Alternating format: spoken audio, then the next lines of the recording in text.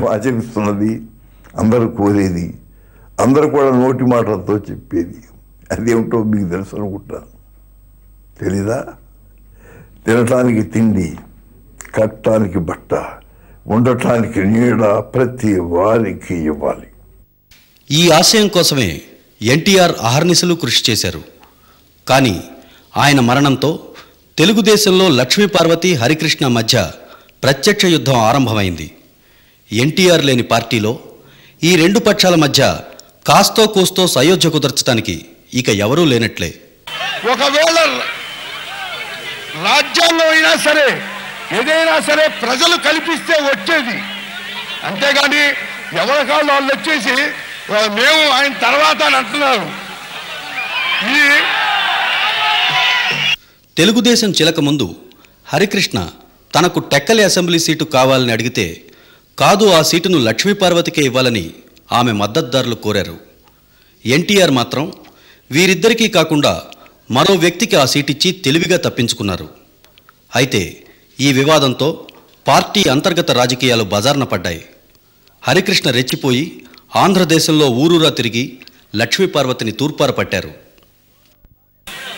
సోదర కార్యకర్తలు వారికి అన్యాయం జరుగుతోందని వారు చెప్పటం నేను ఈ రాజకీయ క్రియాశీలక రాజకీయాల్లోకి రావటం జరిగింది. తన భర్త చితాభస్మం కోసం లక్ష్మీపార్వతి ధర్నా చేశారు. అంతకు ముందు రోజు లాల్ బహదూర్ స్టేడియంలో ఉంచిన ఎన్టీఆర్ భౌతికాయాన్ని అంత్యక్రియల కోసం తరలించడానికి తీసుకువెళ్ళే వాహనం నుండి లక్ష్మీపార్వతిని బలవంతంగా కిందకు దించారన్న వార్తలు వచ్చాయి. ఇక ఈ ప్రత్యక్ష రాజకీయ రంగస్థలం పైన ఏ ఆడది శ్మశానానికి అంటే శ్మశానం తండ్రి గారి గురించి మీకు అంతకన్నా నేను ఏ దహన క్రియలకి ఎవరు వెళ్ళరండి? వెళ్ళరు అని నాకు తెలుసు. నాకు తెలిసిన శాస్త్ర ప్రకారం మహిళామ తల్లు మరి వారికి వారు ఆలోచించాలి ఒకసారి. ఏమిటంటే నేను మా సోదరుడు బాలకృష్ణ రామకృష్ణ మేమిద్దరం కలిసి వారిని కిందకు తోసాము ఏదో ఈడ్చాము అని చెప్పి చెప్తున్నారు. ఒకటి ఆలోచించండి. మీరే మహిళా తల్లులకి మరొకసారి నా ఆంధ్ర రాష్ట్ర యావత్ భారతదేశ మహిళా లోకానికి మహిళా తల్లులకి నేను విజ్ఞప్తి చేసుకున్నాను. అంటే నేను ఇంగ్లీష్లో చెప్పలేను బట్ అయినా సరే అందరూ అర్థం చేసుకోవాలి. ఇప్పుడు హైందవ ధర్మశాస్త్ర ప్రకారం ఎవ్వరూ శ్మశాన వాటికి వెళ్ళరు దహన క్రియలకి వెళ్ళరు. సరేనండి ఓకే. వారి యాలిగేషన్ని తీసుకున్నాం. ఏమంటే ముఖ్యంగా నేను ఒకటి చెప్తున్నాను. మరి తల్లులు మీరు ఆలోచించండి. మనం మన పిల్లల్ని మన పల్లెటూరులో కానివ్వండి ఎక్కడన్నా కానివ్వండి మన పిల్లల్ని కాటి దాన్ని ఏమంటారు పాడి వెమ్మట మనం పంపిస్తామా? వాహనంలో ఉండాలని అందరూ చెప్పారు నన్ను ఎక్కించారు కూడా. ఎక్కించిన దాన్ని హరికృష్ణ వాళ్ళ తమ్ముడు రామకృష్ణ ఇద్దరు వ్యతిరేకించారు. ఆమె ఉండకూడదని రావటాన్ని డాక్టర్ గారు ఉండనివ్వమన్నారు. వాళ్ళు వద్దని చెప్పారు. సరే నేను దిగేటప్పుడు ఎవరో నన్ను తోసేశారు. అది ఎవరైనా నేను చూడలేదు వాస్తవానికి. చాలామంది ఎక్కారు కదా. అందువల్ల నేను వాళ్ళ మీద నేనేం ఆరోపణ చేయలేదు. నన్ను దించేసిన మాట వాస్తవం. దిగమన్నారు దిగిపోయారు. ఆంధ్ర రాష్ట్రం కాదు ఒక ఈ భారతదేశమే మర్చిపోలేని మహోన్నత గలమైన వ్యక్తి. వారి ఆత్మశాంతి కలగాలని ముందు ముఖ్యంగా యావత్ ఆంధ్ర రాష్ట్ర ప్రజలు వారు వారు కోరుకోవాలని అంటే వారు ఆల్రెడీ కోరుతున్నారండి. ఆయన వారి మనసులో ఎప్పుడో వారి మనసులో ఉన్న హృదయాల హృదయ దేవాలయాల్లో ఆయన దేవుడిగా నిలిచిపోయారండి.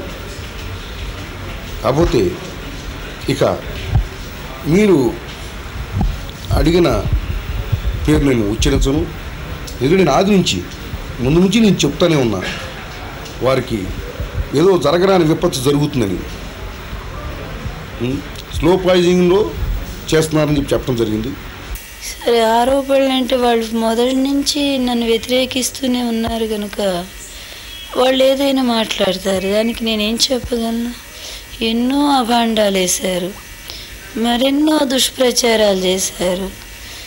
అన్నీ నేను అపనిందల్ని మౌనంగా భరిస్తూ నేనేంటో రామారావు గారికి తెలుసు కనుక ఆయన నన్ను అంత గౌరవించారు.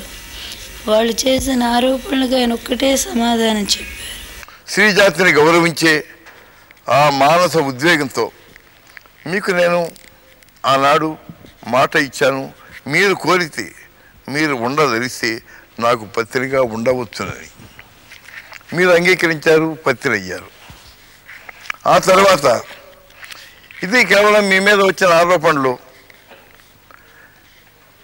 అది కేవలం ఈర్ష్యతో ద్వేషంతో చేసిన నా అభిప్రాయం. నా భార్య నా కుటుంబ సభ్యులు చాలా బాధ పెడుతున్నారు. ఆమెను అన్యాయంగా దూషిస్తున్నారు ద్వేషిస్తున్నారు. అందువలన వాళ్ళనే నేను వదులుకుంటున్నాను అని చెప్పిన ఆయన మాట కంటే వేరే సాక్ష్యాలు ఇంకొకటి ఉంటుందని చెప్పి నేను అనుకోలేనయ్యా. ఒకటే మాట అండి. డెబ్భై రెండు సంవత్సరాలు వచ్చిన తర్వాత రీస్కానలైజ్ ఆపరేషన్ అంటే రీకానలైజ్ ఆవిడ చేయించుకుందండి. సరే అవన్నీ మీకు వివరంగా నోట్లో ఇచ్చాను. ఇక స్టెరాయిడ్స్ డెబ్బై రెండేళ్ళు తర్వాత అన్నిట్లో ఓపెన్ హార్ట్ సర్జరీ అయింది.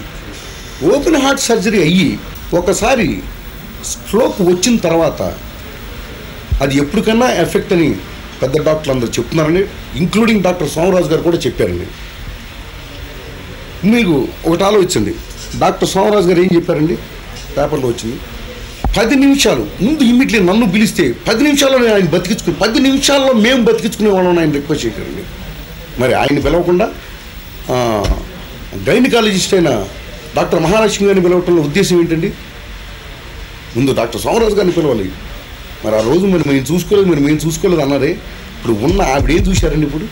ఇక ఏంటో ఆ స్టెరాయిడ్స్ నేను ఆయన ఆరోగ్య విషయంలో ప్రతిదీ చాలా జాగ్రత్త తీసుకున్నాను. దానికి ఉదాహరణ ఆయన ఫ్యామిలీ డాక్టర్ సోమరాజు గారు కుమార్ గారు వాళ్ళు ప్రతి వారం వచ్చి చెకప్ చేసి వెళ్తూనే ఉన్నారు.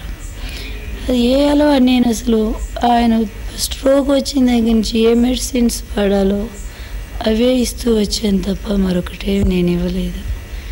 ఆయన నాకు చెప్పకుండా వేరే తీసుకున్నారని కూడా నేను అనుకోను. నిజం చెప్పాలంటే అట్లాంటిదే ఉంటే మరి మాకు బిడ్డ పుట్టాలి కదా. ఏమంటారు? అంతే అందుకని నేనేం చెప్పగలను వాళ్ళ ఇష్టం వాళ్ళ ఇష్టం వచ్చినట్టు మాట్లాడుతున్నా. ఇవన్నీ మాత్రం అబద్ధాలని చెప్పగలను అంతకు మించి నేను ఇంకేం చెప్పలేను. నా భర్త ప్రాణాన్ని రెండుసార్లు కాపాడుకున్నదాన్ని నేను. అనుక్షణం ఆయన ఆరోగ్యం కోసం తప్పించిపోయిందాన్ని. వంట కూడా ఎవరిని చేయనీయకుండా నేను చేసి పెట్టుకున్నాను నేను. ఆయన ఆరు ఎన్ని పూజలు నేను చేసుకున్నాను నా దేవుడి కోసం. ఎందుకంటే ఆయనతో నా లైఫ్. ఆయనకి ఏదైనా హాని జరిగితే నా జీవితమే వృధా అయింది కదా ఈరోజు. ఆయన నమ్ముకొని నేను వచ్చానయ్యా. జీవితాంతం ఆయన వల్ల నేను ఎదుగుతున్నాను ఈరోజు. ప్రజల్లో ఆయన నాకు గుర్తింపు ఆయన వల్ల వచ్చింది. ఇంత గౌరవాన్ని ఇచ్చినటువంటి ఇంత ప్రేమించినటువంటి నా భర్తని ఒక్క క్షణం కూడా వదిలి ఉండలేనటువంటి నేను ఆయన ఆరోగ్యం పట్ల ఎంత జాగ్రత్త నేను తీసుకుంటాను. అందువల్ల అసలు అటువంటి ఏమీ లేవు అది స్పష్టంగా నేను చెప్పగలను. ఈ వివాదాల్లో మరో వివాదాస్పద వ్యక్తి డాక్టర్ అనిల్ కుమార్. నాకు తెలిసినంత వరకు స్టిరాయిడ్స్ వాడారని నాకు తెలియదండి. మరి ఆయనకి ఎవరు చెప్పారో నాకు తెలియదు. ఐ డోంట్ నో అంటే మీరు ట్రీట్మెంట్ ఇస్తున్నారు కదా స్టెరాయిడ్స్ వాడ వాడటం వాడకపోవటం అనేటువంటి విషయాన్ని నేను బయటపెట్టడానికి అవకాశం ఉంటుంది. నేను ఎప్పుడూ చూడలేదు ఆయన స్టిరాయిడ్స్ వాడటము. నేను because I I don't I don't think he's used any steroids is there any proof that he he's use steroids ఇక హరికృష్ణ మరో ఆరోపణ గుండె నొప్పి వైద్యానికి గైనకాలజిస్ట్ని ఎందుకు పిలిచారని? కంగారులో మనం నిప్పు తొక్కుతామండి.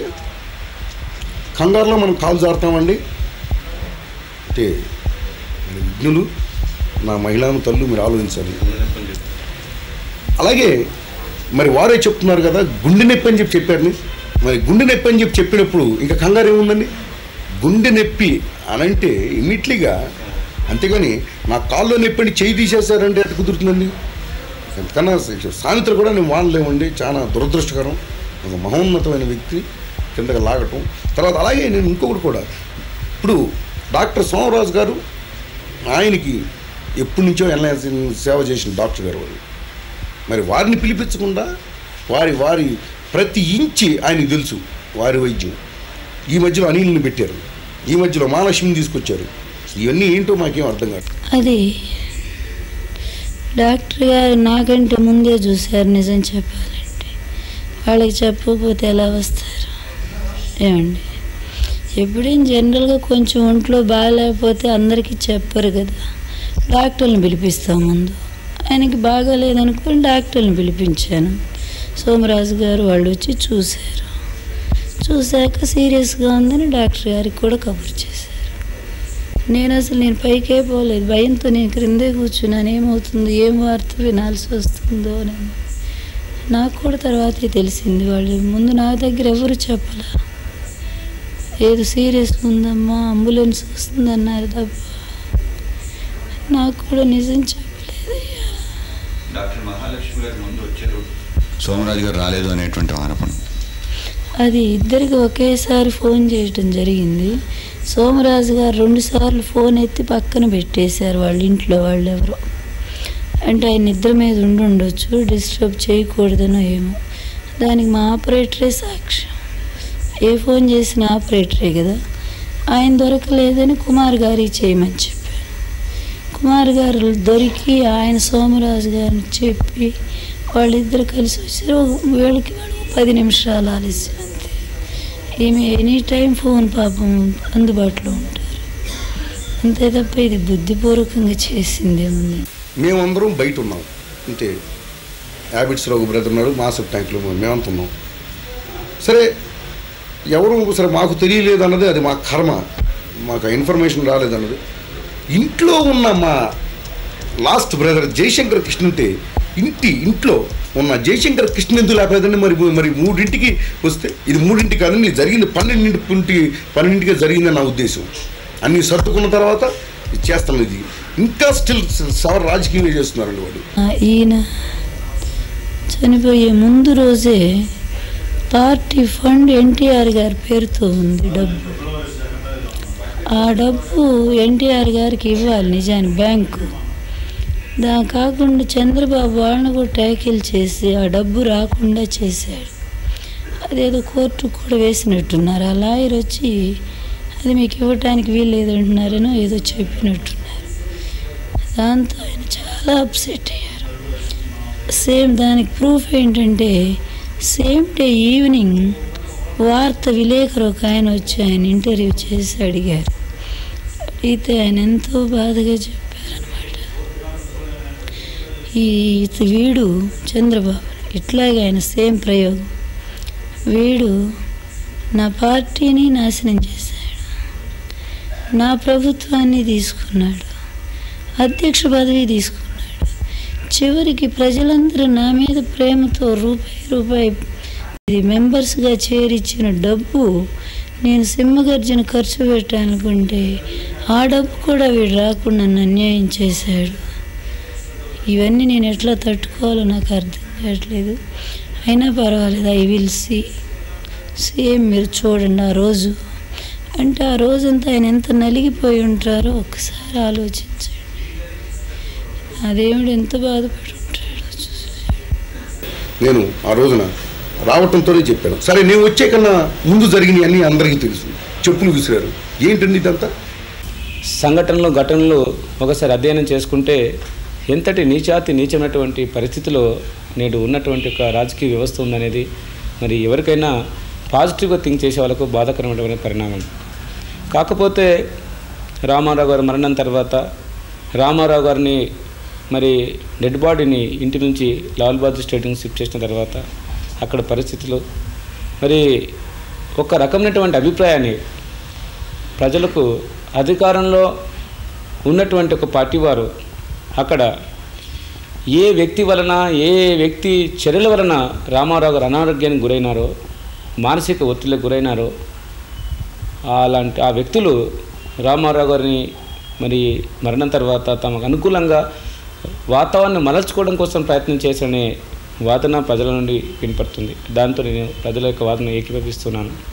ఇంకా లాల్ బహదూర్ స్టేడియంలో మరి రామారావు రాష్ట్ర సాధన కోసం అతను అండగా ఉన్నటువంటి యొక్క నాయకుల పట్ల పోలీసుల ద్వారా అదేవిధంగా బాధిత కలిగినటువంటి యొక్క వ్యక్తుల కుటుంబ సభ్యులు కూడా మరి శాసనసభ్యుల మీద దాడి చేయడం శాసనసభ్యులను రామారావు గారు నివాళి అర్పించే కార్యక్రమానికి దూరంగా ఉండే ప్రయత్నం చేయడం ఇది చాలా సిగ్గుమాలినటువంటి యొక్క వ్యారంగా నేను భావిస్తున్నాను. ఇలాంటి చర్యలను తీవ్రంగా ఖండించవలసిన పరిస్థితి కూడా ఉంది. మనం చూసాం అక్కడ ఉన్నటువంటి ఒక వాతావరణాన్ని కని విని ఎరగని రీతిలో అభిమాన నాయకుని నివాళులర్పించే సామాన్యులు బడుగుజీవులు తాడితెప్పిడిద ప్రజా వాయుని లక్షలాది మంది తరలి వస్తే నూట పద్దెనిమిది పర్యాయాలు పోలీసులను వాడి లాఠీచార్జ్ చేయించడం జరిగింది. నివాళులు అర్పించుకుని వచ్చినటువంటి జనం చెప్పులు వదిలిపెట్టి గ్రౌండ్ నుంచి గ్రౌండ్ వెలుపులు పరిగెత్తే పరిస్థితిని మరి దొడ్డిదారిన అధికారులను చేపట్టినటువంటి యొక్క వ్యక్తుల వలన ప్రోద్బలం వలన జరిగిందనేది నేను భావిస్తున్నాను. దీన్ని ప్రజలందరూ కూడా గమనిస్తున్నారు. చితాభాస్ చితాభాసం కాడికి ఏంటండి ఇది మాకు ఈ ధర్నాలు? ఏంటండి అసలు? ఇంకా ఇంకా ఆయనకి ఆత్మకి శాంతి క- ఎవరా వీళ్ళు? ఎవరా వాళ్ళు? వీళ్ళు కాదు సారీ వాళ్ళు ఎవరా ఇక? ఆయన ఆత్మశాంతి ఆయన్ని ఏదో ఆయనే మాకు నాయకుడని పాపం నిలబడ్డటువంటి వాళ్ళు ఉన్నారు వాళ్ళందరూ నిన్న అక్కడికి రానివ్వకుండా పోలీసుల చేత తీవ్రంగా కొట్టించారు. ఎమ్మెల్యేస్ని కూడా. ప్రజలను కొట్టించారు. వాళ్ళు ఇష్టం వచ్చినట్టుగా చేశారు నిన్న.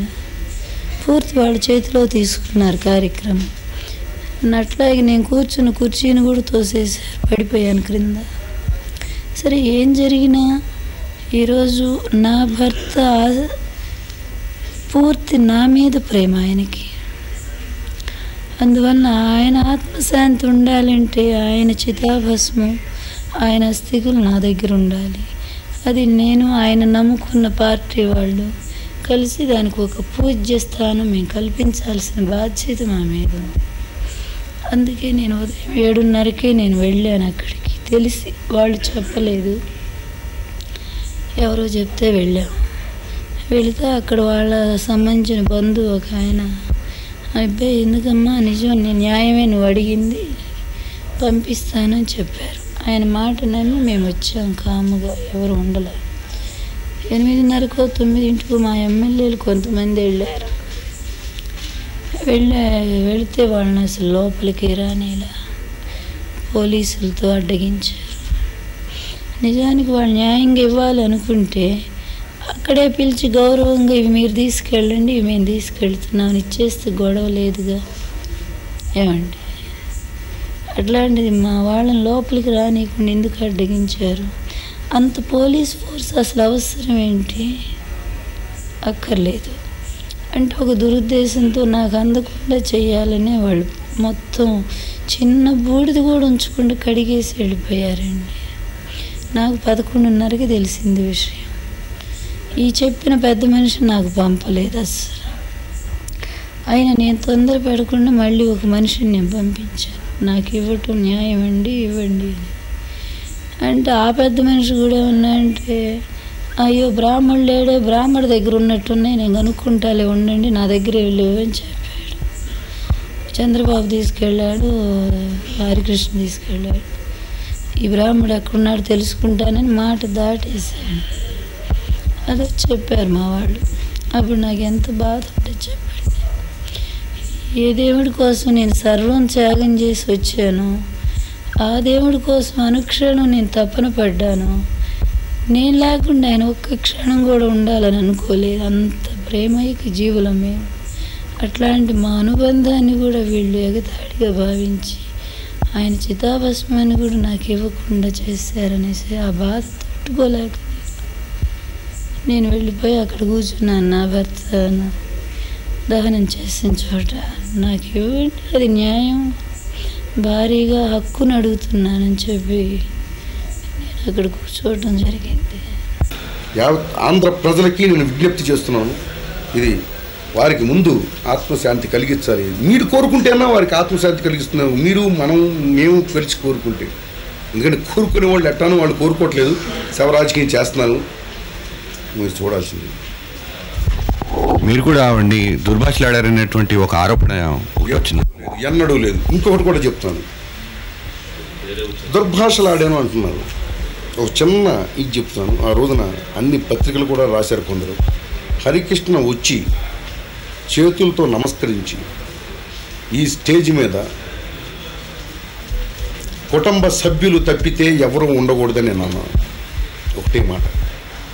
అన్నాను కదా. అన్నానని పత్రికలు వారు అందరూ రచించారు. సరే ఏదంటే పత్రికలు పత్రికలు అంటాం కదా. వారంటే నాకు సోదరభావం ఇప్పుడు ఈ స్థితిలో మాకు ప్రజలకు వారది మీరు కాబట్టి నేను ఆ మాట అనాల్సి వస్తుంది. వారు నేను వచ్చి ఇమీడియట్లీ విజ్ఞప్తి చేసి నమస్కరించి విజ్ఞప్తి చేసింది ఏంటి? దయచేసి స్టేడియం మన స్టేజ్ మీద కుటుంబ సభ్యులు తప్పితే బయట వారు ఎవరూ ఉండకూడదు అని నేను విజ్ఞప్తి చేశాను. ఇటు సైడ్ మేము ఉన్నాం అటు సైడ్ వారు కూర్చునే ఉన్నారు కదండి. నేను అన్నాను ఇటు అటు వారు కూర్చుంటారు ఇటు మేము కూర్చుంటాం. అన్యులు ఎవరు స్టేజ్ మీద ఉండడానికి వీల్లేదు అని నేను అన్నానండి. సరే నేను రాకముందు జరిగినాయి మరి దానికేంటి సమాధానం చెప్తారండి? చెప్పులు వేశారు కారు అద్దాలు పగలగొట్టారు. అక్కడేమో లాల్ బహదూర్ చేయడేమో అద్దాలు పగల ఏంటండి ఇదంతా? దేనికి? ఏమిటండి? మరి ఇక నేను దుర్భాష ఆడాను అసలు దుర్భాషకి ఏంటండి? నేను వచ్చి విజ్ఞప్తి చేశాను. వారు అటు కూర్చుంటారు సరే అటు కూర్చున్నారు కాబట్టి వారు అటు కూర్చుంటారు. మీరు ఇటు కూర్చుంటా ఉన్నాం ఇంకేమిటండి ఇంకా? ఇంకా ఇంకా ఇంకా ఎందరూ చంపుతారండి. ఇక ఆంధ్ర రాష్ట్రాన్ని ప్రజలు లాగాలండి. ఒక మహోన్నతమైన వ్యక్తులు లాగేశారు. ఇక మేము మా ఇక మనం మిగిలామమ్మా మన కూడా బురదలో లాగి చేస్తారు. అంతకన్నా నేను చెప్పలేనండి. సారీ వాళ్ళ ఇష్టం వాళ్ళ ఇష్టం వచ్చిన మాట్లాడుతున్నారు. ఇవన్నీ మాత్రం అబద్ధాలని చెప్పగలను అంతకు మించి నేను ఇంకేం చెప్పలేను. నిర్ణయాలు ఇవాళకి మేము మా ఆస్తులని మాకు ఇచ్చిన మేము ఏ ఎటువంటి నిర్ణయాలు తీసుకొని ఆయన సంప్రదించి ఎందుకంటే మాకు అలవాటు అదొక సంప్రదాయం మా ఇంట్లో మా వంశంలో అదే ఒక నీతిగా పెట్టుకుని అవే మాకు కట్టుబాట్లుగా పెట్టుకుని మేము ప్రతిదీ ఏ విషయమైనా సరే ఆయన సంప్రదించి మేము చేయడం తప్పితే ఇది ఎవరికి ఆస్తులు వాళ్ళకి పంచి ఇచ్చినా సరే ఇంట్లో ఏం జరిగినా మా సొంత ఏదైనా నిర్ణయాలు తీసుకున్నా సరే మేము ఆయన్ని సంప్రదించి మీకే తెలుసు. అంతా ఆయన సీఎం కన్నప్పుడు ఆయనకి ఎటువంటి బంగారు ఎటువంటి చెడ్డ ఎటువంటి రాకుండా అంటే చేసామని కాదు అది మాలో ఉన్న అది సంస్కారం. అది ఆయన ప్రిన్సిపల్స్ ఆయన మాకు ఇప్పటికీ ఆయన మాకు చివరికి ఇచ్చి వెళ్ళింది. మాకు అవే. మేము ఎప్పుడు జవదాటు ఆయన ఆశయాల్ని ఆయన తలపి ఆయన కలగల కన్నా కళల్ని నెరవేర్చడానికే. మేము తప్పనిసరిగా రాబోతున్నటువంటి యొక్క రోజుల్లో రామారావు గారి ఆశయ సాధన కోసం మేము ముందుకెళ్తాం. అతను అందించిన సంక్షేమం విధానం సిద్ధాంతం మనను స్ఫూర్తినిస్తుంది. ఆ స్ఫూర్తి ద్వారా మేము జయం సాధిస్తామనే నమ్మకం మాకుంది. మేమంతా వారి ఆశయ లక్ష్య సిద్ధికే మేము కృషి చేస్తాం. వారి అడుగు జాడల్లో మేము నడుస్తాం. నాకు ఒక ఎన్టీఆర్ గారి మ్యూజియం పూర్తి చేయాలి. దాన్ని మేమిద్దరం కలిసి ఎంతో ఉత్సాహంగా ప్రారంభించాం వర్క్. అది పూర్తి చేయాలని నాకు బాగా సంకల్పం. అందరూ కలిసి నన్ను ఏం చేయమంటే అదే చేస్తాను. పార్టీ ఉంది ఈరోజు ఎమ్మెల్యేలు ఉన్నారు. జిల్లా నాయకులు ఉన్నారు. స్టేట్ కమిటీస్ ఉన్నాయి. అందరూ కలిసి నన్ను ఏం చేయమంటే అదే చేస్తాను. రెండు కత్తులు ఒకే వరలో ఎమడవు. అలాగే రెండు సిద్ధాంతాలు ఒకే రాజకీయాన్ని ప్రేరేపించవు. కానీ ఒకే ఆశయం మాత్రం కలిసి పనిచేస్తుంది. వారిద్దరిది ఒకే ఆశయం. అది ఎన్టీఆర్ జీవితాశయం. మరి కాట్లాట్ల పర్యవసానం? కాలమే సమాధానం చెప్పాలి.